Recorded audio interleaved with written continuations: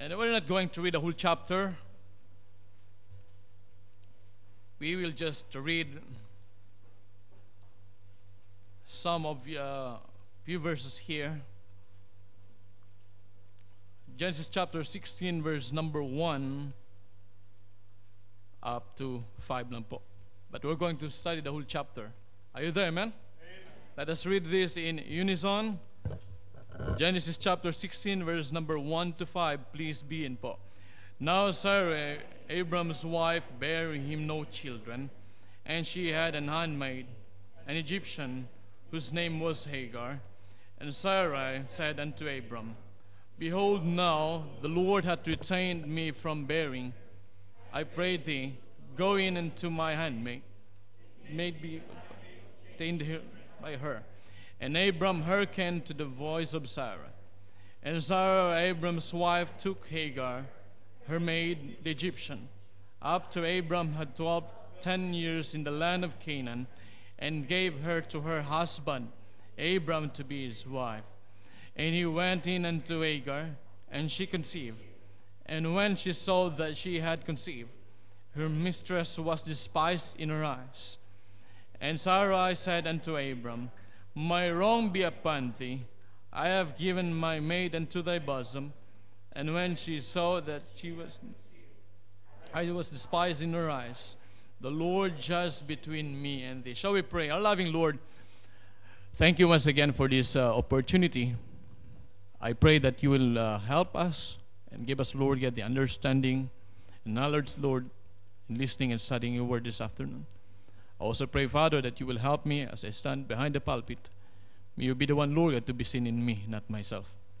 Lord, please bless the message. In Jesus' name, Amen. Thank you po. Please be seated. So everybody is familiar with Abram, amen? So let's go first in chapter 12. We're going to start here in chapter 12. The call of Abram. So God called Abram to leave the Chaldees of Ur. Now during the time, uh, Chaldees of Ur is uh, one of the uh, prosperous city, ancient city during the time. It was a center of business and commerce. And God told Abraham to leave that place and go to the land that God wants him to be. And that is the promised land. And God uh, promised him here in verse number 2 And I will make of thee, chapter 12, verse 2, and I will make of thee a great nation, and I will bless thee and make thy name great, and thou shalt be a blessing, and I will bless them that bless thee, and curse him that curseth thee, and in thee shall all families of the earth be blessed. We have to understand that the God has always given us the promise, and that when God will give us a promise, God will always fulfill all of these things. Amen? And praise the Lord for that. And as we go on to, the, to these verses here, we can all see here that uh, Abram removed from his place and uh, followed the uh, will and the call of God to him. He took Sarah his wife and even Abram, uh, ne- Abram's nephew, who is Lot. And as we can see later on, that uh, Lot also became trouble in the life of Abram. So if we can see here in uh, verse 8, and he removed from thence into a mountain unto the east Bethel, and pitched his tent, having Bethel on the west, and Ai on the east. And there he builded an altar unto the Lord, and called upon the name of the Lord. Now it is very important uh, uh, for Abraham during the time to build an ark. It is because it is a means of worship and is fellowship and communion with the Lord God during those times. Now, it, the same thing with us today. It is very important that we have a place of worship. We have a place where we can uh, uh, pour ourselves into the Lord and we can ask His help from time to time. Because we know that we could no longer help our own self without the help and the guidance of God. Amen? Now, we can also see here in verse 11, and it came to pass, uh, verse 10, and there was a famine in the land. Now, here comes now the testing. Uh, that was a good message yesterday, as what Pastor said. it was a bit connected in our lesson today. Now, after those things that he received uh, from the Lord, there was now another test. Now he comes now the famine. But what happened here is that Abram decided to what? To move down to Egypt. Now this is most of us, uh, uh, most of the time, many Christians failed. Amen.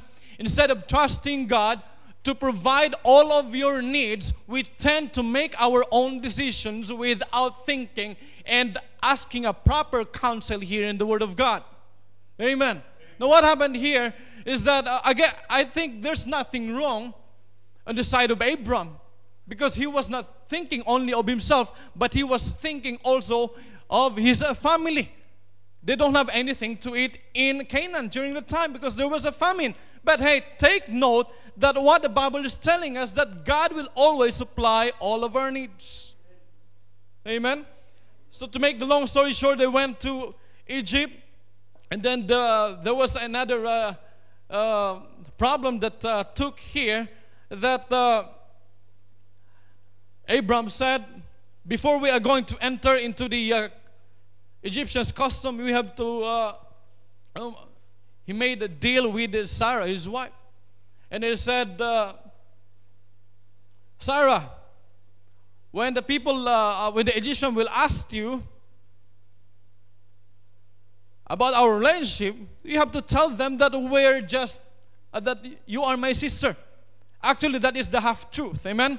Because if we're going to read, if I'm not mistaken, in uh, uh, the prior verses here, that uh, Abra, uh, Sarah was a half sister of Abram.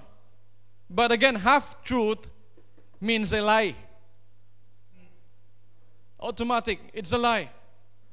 So, when I was reading, according to uh, Jewish custom, uh, they put, while entering into the custom, Egyptian custom, uh, she put, this is only according to Jewish custom.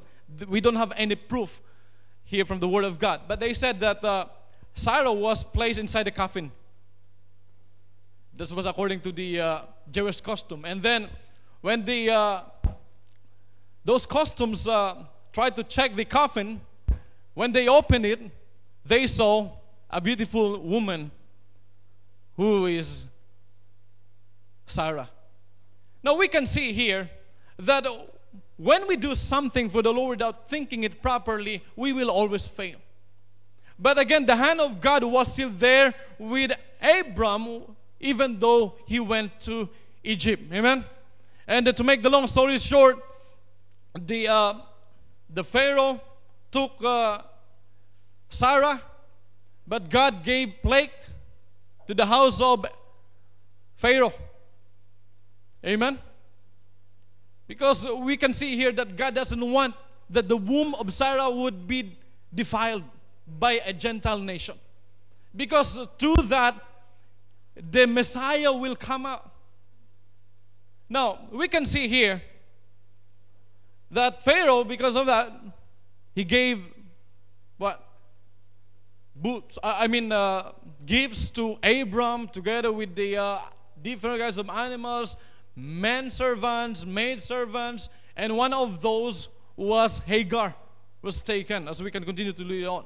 Now, here in chapter 13, now we can also here see that Abram returned to Canaan, the promised land. Amen. Now, it is a good thing for us Christians to return into the right track, into the right course, when we know that God is always with us. Amen. Amen. Always take note, always put this in mind that we cannot be successful when we are out from the presence of God. Now, the good thing here is that when Abram returned to Canaan, he didn't just stay on the corner and try to uh, cry because of his mistakes that he did in the land of Egypt. Instead, he built an altar and asked again the guidance of God. And that must be the attitude of each every one of us. Amen is past. We have to think about that. And the important thing right now is for us to face the reality, the future that God wants us to be or to have in our lives. Now, Abram, what happened here? he built an altar, and Abram was very, very rich when it comes to cattle and everything because God was with him. Now, in verse 13, we can see here that there was a strife here between the herdmen of Lot and the herdmen of Abram. We know the story, right? But of course, Abram was a spiritual man. He was thinking a proper way in order not to have confusion or to have that what they call argument or disagreement against Lot, his nephew. So what he did is to talk to Lot and said, to make the long story short, okay, Lot, if you're going to choose on the left side, I will choose on the right. Amen. That is a good part in the life of Abram. Because he, he knew that those Canaanites who are living there are also watching them. Amen. The Canaanites may say, oh, they said they have a different God. They said that the God can lead them, and then look at them, they're fighting towards each other. And Abraham is avoiding, and Abram was avoiding that to happen. And the same thing in the church. We know that we are uh, worshiping the same and living God. We have to understand towards another. We must avoid these what we call disagreements. Although we cannot really avoid, but we must try to avoid and try to understand one another.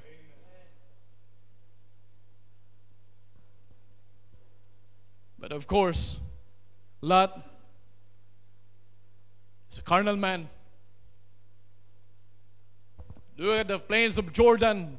Oh, a vast land is a good place for me to stay. So you what? He chose that land over there. And Abraham chose the other way, the other way around. We have to understand that not all the good things that we can see in our eyes are always good. This is our mistake most of the time. Amen.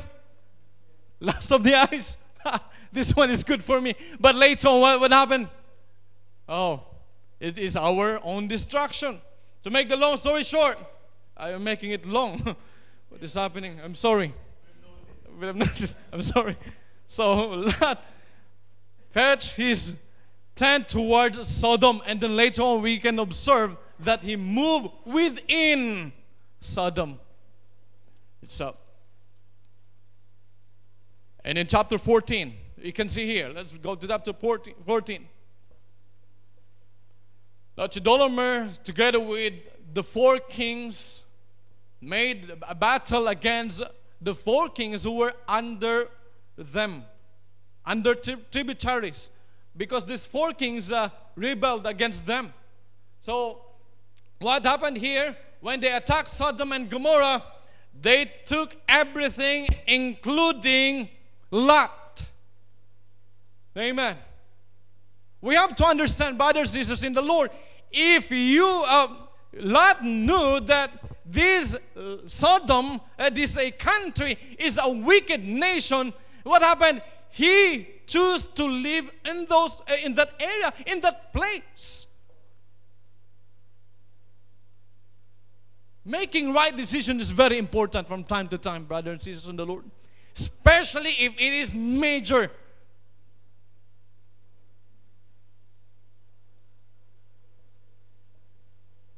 So when Abram heard that Lot, his nephew, was captured, Abram then gathered his 318 18, uh, uh, soldiers, armed men, and attacked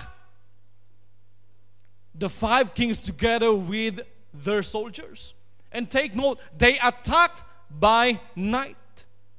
And this was a very uh, great uh, technique, or uh, I don't know how to say uh, military term, tactic. When they went to battle, to, and then what happened here? They prevailed, and they were able to uh, defeat those five kings. Imagine Amen. Abram was not only a rich man, but he was also a prudent man. He knows that from time to time there must be soldiers or military that will protect and uh, give security on them while they were traveling when they're having their journey. Then what happened here? Abram met Melchizedek. The Bible was not, uh, uh, did not give us about more information about Melchizedek, but Melchizedek was the king of Salem. Salem is the old name of Jerusalem.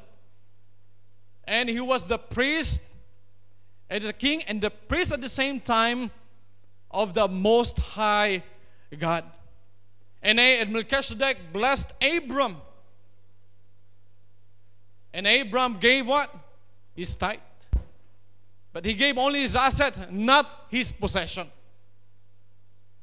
Then what happened here? Because uh, the king of Sodom was so glad that Abram defeated the uh, uh, the enemies, Chedorlaomer's uh, uh, armies. He wanted to what? Offer a boot to him, but Abram did not accept him. Because Abraham said, maybe if you will uh, give something to me, uh, you, may, you will say that uh, you, you made me rich because of that. Because Abraham, what? His only focus is what? To give glory to God, not on himself. It is very important for us to give glory to God, not on our own selves. And most of the time, this is very dangerous because after having those victories, after having those things that we uh, we had in life, we tend to what? Exalt ourselves instead of exalting God in our lives. It's so hard.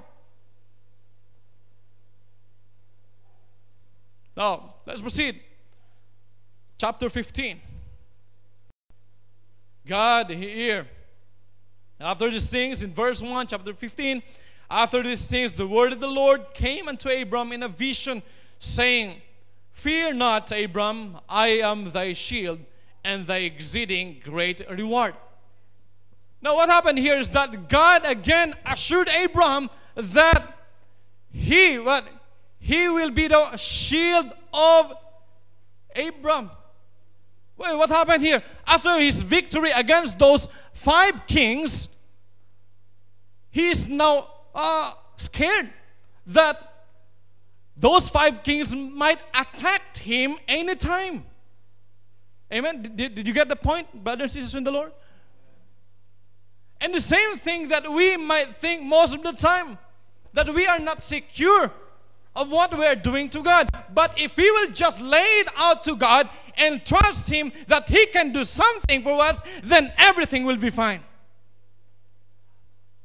I am thy shield and thy exceeding great reward.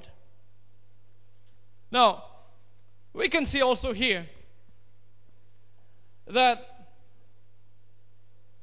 in verse 4 and behold, the word of the Lord came unto him, saying, These shall not be thine heir. Because he said, Lord, you've given me the riches, you've given me everything, but I want a son to, uh, uh, to be heir of those riches, the possessions that we had, that I had, Lord.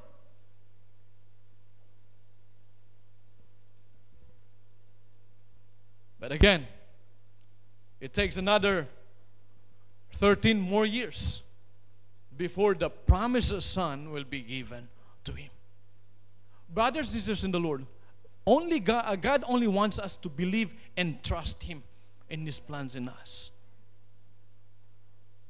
Amen. Never sway around and try to do anything that you want without the counsel and the word of God. From the word of God. Now, here we can also see that God assured him that Abram, Eliezer, will not be the heir, but the heir would be what will, will come from thy bowels. And praise the Lord for that. Sometimes His promises really will take a long time. And all we have to do is just to wait. And what happened here is that God made a covenant with Abram. Now, during the time when they made a covenant, they need to cut the animal into uh, halves. And then what they're doing is that both parties were going to pass through that dead animal while saying the oath of their covenant towards each other. Now, what happened here is that when Abram made uh, cut the, those uh, animals into halves, he was waiting that God will come down. Amen. And appear to him. Remember that in chapter 12, God appeared to him personally. He was waiting, but what happened here is that Abram fell asleep. But again, when God will say something, he will do it. God appeared into what? Into a what? Furnace smoke. In a, if I'm not mistaken, was that here? Please help me. In verse 17, it came to pass that when the sun went down and it was dark, behold, a smoking furnace represents the what? What the Lord had given to the Israelites when they were walking in the wilderness a pillar of cloud. Amen. And another thing here behold, a smoking furnace and a burning lamp that passed between those pieces. God appeared to Abram, showing and fulfilling, assuring him that the covenant is real and true. Hey, are we taking time of asking our covenant with God?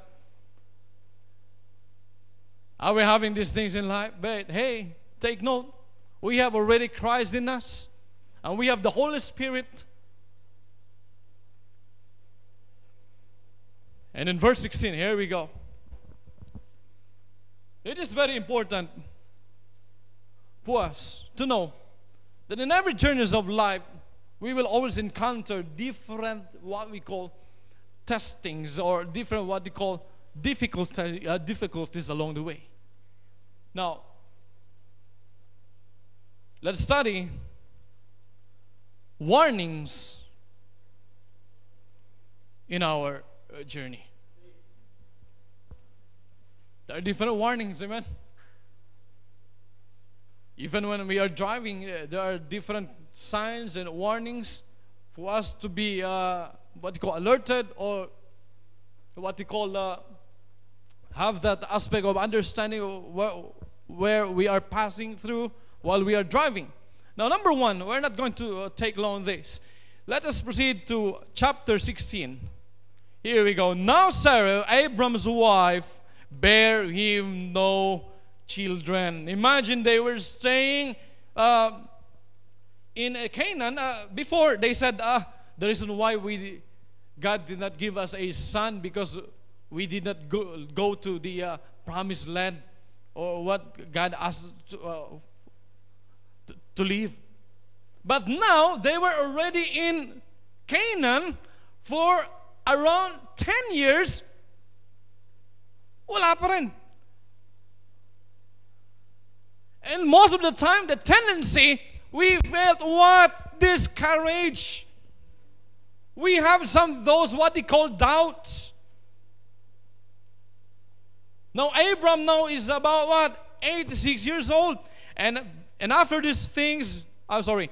Now Sarah Abram's wife bare him no children, and she had an she had an handmaid, an Egyptian, as what I've said to you a while ago.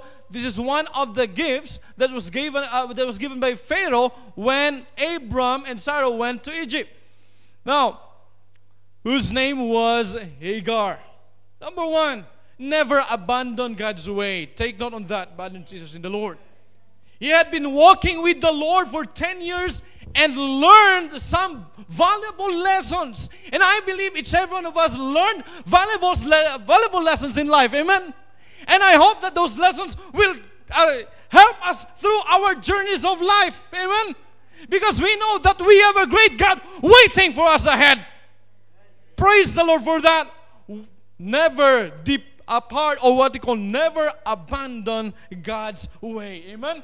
God had promised Abram and Sarah a child, but not told them what? About the date, about the year, about the month. The child would be born. Now, I believe this was a period of waiting. Amen. Sabi siguro nila, family planning tayo. Ano ba talagang dapat gawin? Sino pa pwedeng lapitan natin si Dr. Ah, ano, Dr. Doctor or si Dr. Kwak Kwak? We don't know. A period of waiting and most people don't like to wait. Hebrews 6:12, Brother John, could you please? Hebrews 6:12. It says here that ye be not slothful, but followers of them who through faith and patience inherit what he call the promises. Remember that God has a perfect timetable for each every one of us. And we have to wait for the time.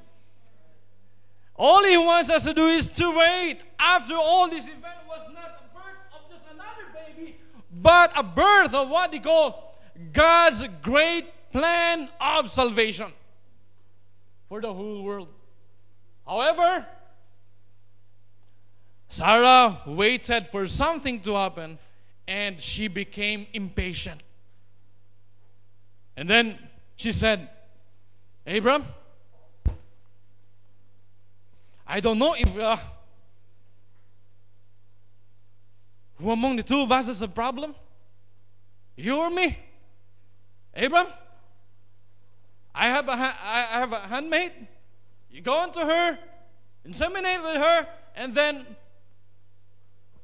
when she will uh, conceive and bear a child, okay, that would be the ear. She was so impatient. And most of the time, we are like that, very impatient. Remember, never abandon God's way. Never. He wanted Abram and Sarah to be physically as good as dead because God wants both of them to believe and trust His great plan for the two of them. Great plan! Hey!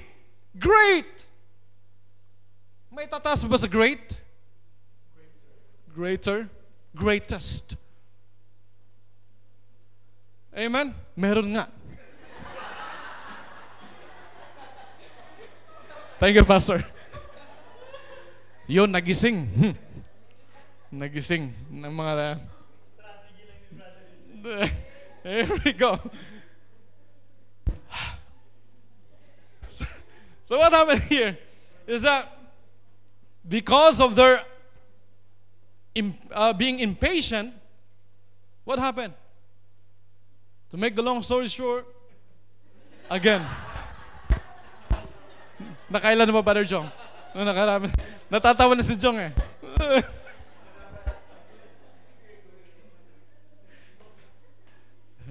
Sensya na po, ginanahan na po ako. So what happened here? Hagar conceived. She conceived. But what happened here? After conceiving, Hagar thought, huh, see, mas babae ako sa'yo. So what happened? Of course, Sarah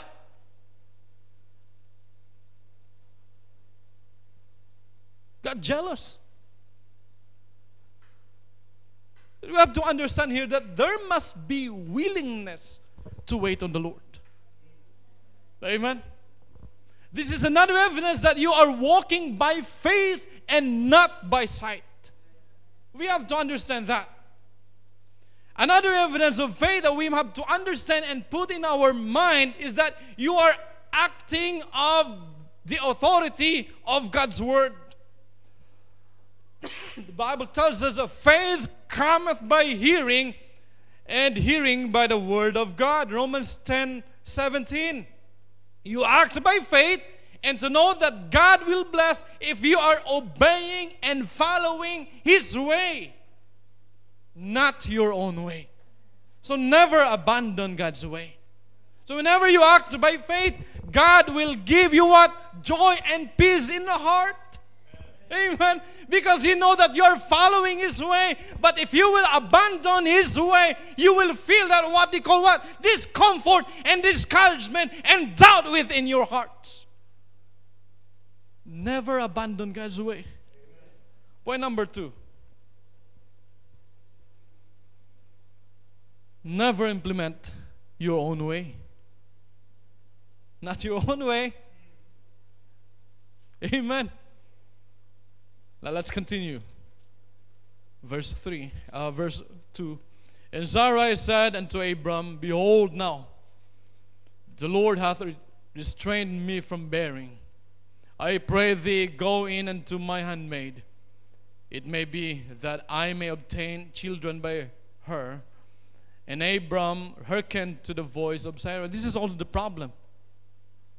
Remember that Abram was the head of the family. He must be the one to uh, rebuke Sarah. Amen. Amen. Sarah, God has a promise. And we have to wait. And I believe during this time, Abram was carnal. Amen. You know, carnality can, cannot really help us when it comes to decision making. Now, in verse 3, and Sarah, Abram's wife, took Hagar, her maid, the Egyptian, after Abram dwelt 10 years in the land of Canaan, and gave her to her husband Abram to be his wife. And he went in unto Hagar, and she conceived. And when she saw that she had conceived, her mistress was despised in her eyes. Never implement your own way because your way might be good on your own mind, on your thoughts. It might be good in your eyes, but it is not right in the eyes of God. Amen. Never implement your own way. Sarah knew that she was incapable of bearing a child, but that her husband was still capable of begetting a child. Now, God has specifically named Abraham as the father of the promised heir, but he had not yet identified the mother. There was a confusion during those days. Sino ba talaga? But again, we don't have the right to doubt God. No way. We have to understand here logically it would be Abram's wife, Sarah, not Hagar. Hey, through faith is based on the word of God and not on the wisdom of man. Proverbs chapter 3, verse number 5 to 6. Trust in the Lord with all thine heart and lean not unto thine own understanding. In all thy ways acknowledge him, and he shall what? Direct thy paths. Because faith is living without scheming. But of course, Sarah thought, maybe this is the best way. Maybe there's a proper way. Maybe and most of the time we fell on that maybe, maybe, maybe. It must be what? Sure. So when we do something, it must be sure. It must be, thus said the Lord, according to the scriptures. Amen. Amen. Know of a surety in, let us read here in Genesis 15 13, please. And he said unto Abram, Know of a surety that thy seed shall be a stranger in a land that is not theirs, and shall serve them, and they shall afflict them four hundred years. After hearing this, maybe Abraham said, Oh, maybe there's no need for me to have a son if this will happen. But again, because of his willingness as well to have a son, what happened? But again, remember, this is the plan of God. Sarah was not concerned about the glory of God. Her only goal was that what? That I may obtain a child by her. Take note. Because of our selfishness sometimes, making our own decisions because of our selfishness. Hey, you don't have to blame other people on what are those things that are happening in your life. It could be worse, it could be bad, it could be joy. Don't blame any other people, but do you have to blame yourself because of your selfishness. Hey,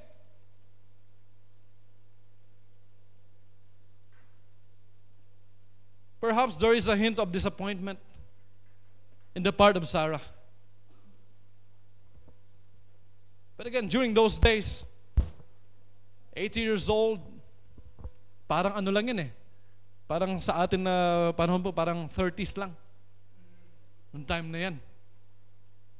Kasi, hindi ganun nung unang panahon.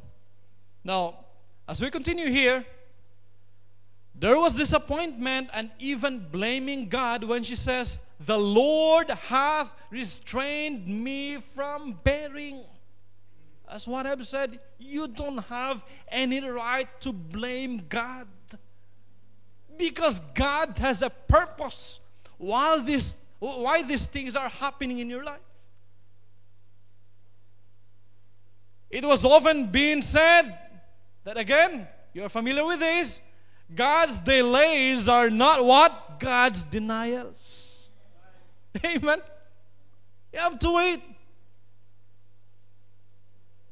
Magkakaanak ka rin, Brother June. Brother Moon. Lalo na kami ni Sister Lily. Nainggit ako eh. Amen. We've been praying for that. We've been praying for a girl. Amen. Please help us to pray.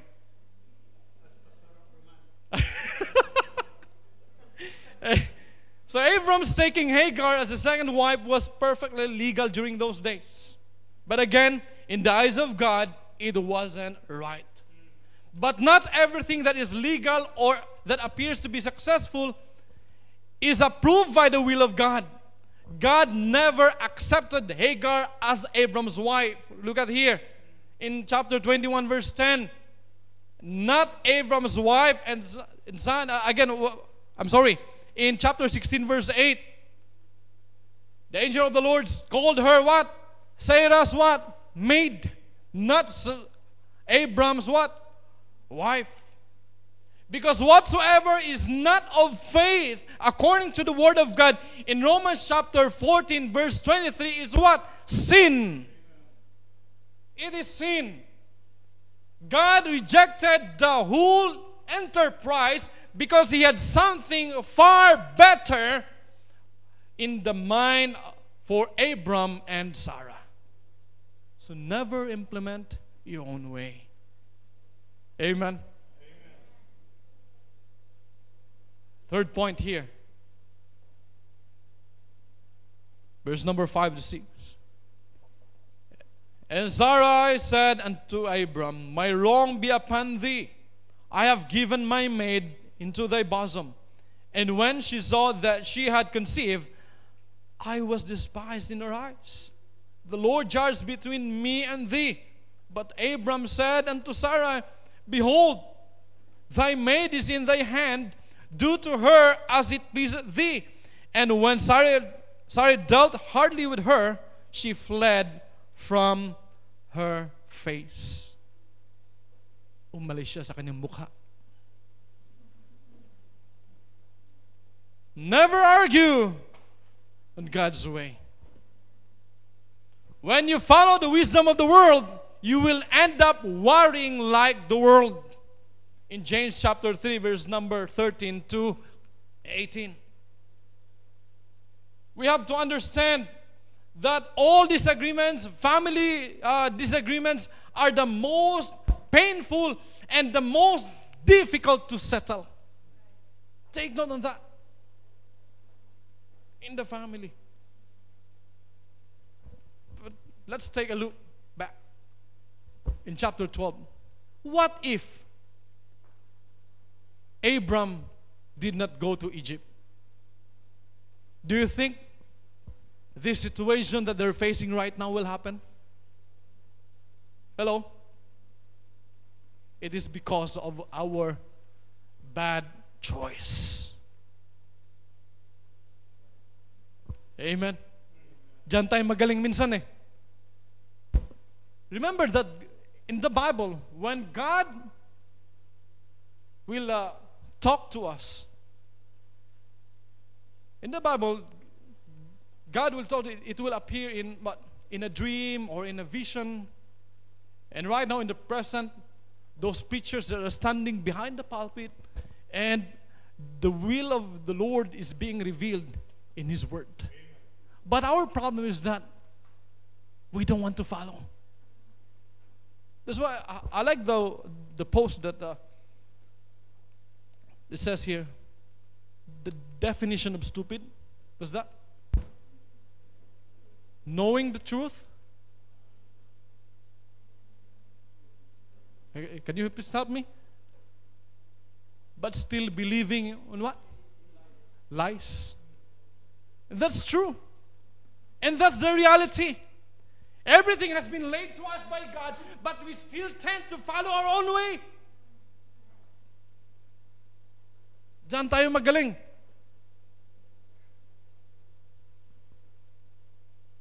The first thing they should have done was what? When this disagreement happened, they must what? Build an altar and ask the guidance of God. That must be the first thing that they have done. Worship the Lord and tell Him their problems. They should have confessed their sins and received His gracious forgiveness. But hey, they made their own way. Now, once you stop fighting with God and with yourself, you will have an easier time not fighting with others as well. Amen. The first step toward reconciliation with others is to what? Getting right with God. You cannot be in good fellowship with other people if you are not right with God. Because most of the time, we are left with God instead of right.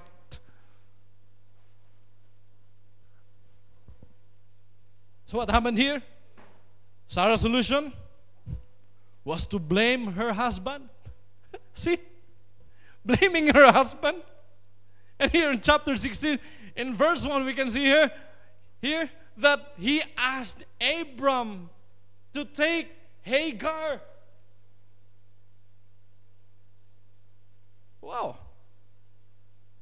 Blaming each other and mistreat her servant as she gave vent to her anger. She seems to have forgotten that she, she was the one who had made the marriage suggestion for the first time. He was the one. What happened to Abram's solution? What happened? Abram said, Okay, it's up to you. But the good thing here for Abram, she listened to his wife. Amen. Yes, remember in the family, husband must be the head. But we have also to understand here in the Word of God that the Bible tells us that we have to what? Submitting oneself unto another. Amen. Husband also must submit to his wife, and the wife must also submit to his husband. Both. Amen. Wala nag-amen. talagang iba rin sila. Another th- thing here, Hagar's solution was what? After having this problem, he ran away from the problem. A tactic we all learned from Adam and Eve. Run from the problem.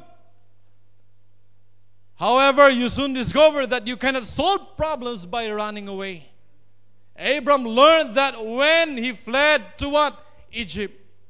Huwag naman sana, mga kapatid, na dumating sa ating buhay na nawala natin sa church na ito, huwag naman sana nasiraan pa natin ang iglesia na itinatag ng Panginoon. Amen? Para sabihin mong toxic ang lugar na ito. No! Nakinabang ka rin. Ginamit ka ng Panginoon and you must be thankful for that. Live and be quiet. And serve the Lord where God leads you. Amen? Some of you might be mad at me right now. It's up to you. It's up to me also.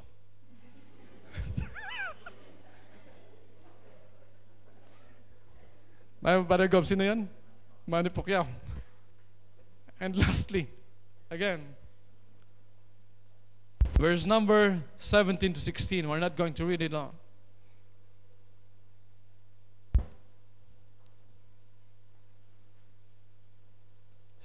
Chapter 7, uh, chapter 16, verse number 7 to 16. Never oppose on God's way. Never oppose. You can see that in James chapter 4, verse number 1 to 10. We're not going to read that, that anymore. But why Christians fight and how Christians can be at peace. Remember that our bat, the bat, our battles among ourselves are caused because we obey our three enemies. Number one, in James 4 4, the world. Second, the flesh.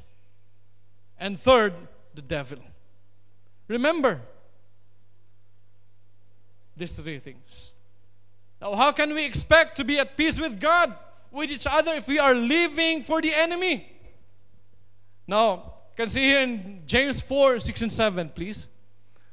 James 4 6 and 7.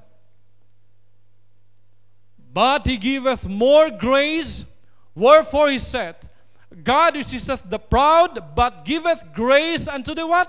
Humble. Amen. Humble. Submit yourselves therefore to God, resist the devil, and he what? He will flee from you. And that is a very good reminder for all of us. Never oppose on God's plan. Thanks be to God. Hagar, when she fled against Sarah because of disagreement, she was about to go back to Egypt, and the angel of the Lord appeared unto him. Her, I mean. The angel of the Lord said, Return to Sarah and submit unto her.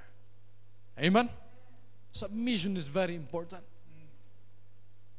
Submission.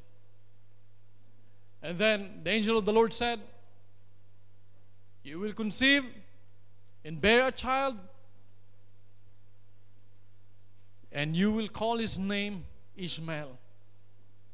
And I will also multiply his seed, and he will be also a great uh, man, but he will become wild. His hand will be against those people, and those people will be against his hand. That's the promise. That's why, even until right now, those, if you will go to the Middle East, they were also blessed financially. Amen. Because they're also descendants of Abraham. Another thing here, Sarah submitted to God as well. Praise the Lord. After hearing the testimony of uh, Hagar, her handmaid, she accepted her once again. You know, giving us chances is a good thing. Because our God gave us many chances as well. We felt many, many times. I felt many, many times, and even you as well. But we have to keep on focusing and look forward ahead, knowing that there's always victory that lies ahead. Another thing here Abraham submitted to God. Praise the Lord. Because Abraham, after having these difficulties in his journey, he still continued, he continued to serve the Lord faithfully. Our journeys right now might not be easy. There's no easy way. Sabi ni James Ingram. Ah, but hey, everything will be easy if you will allow God to work in your life. Along the way, as what our pastor told us along, uh, a while ago, there would be, uh, it would be bumpy. There, there might be snares along the way. But God is always gracious to us, telling us to walk what circumspectly along the way and be patient while waiting for the right time because God has a best plan for us. Hey, let's go on in our journey and let's keep on serving the Lord faithfully for the rest of our life. Pastor?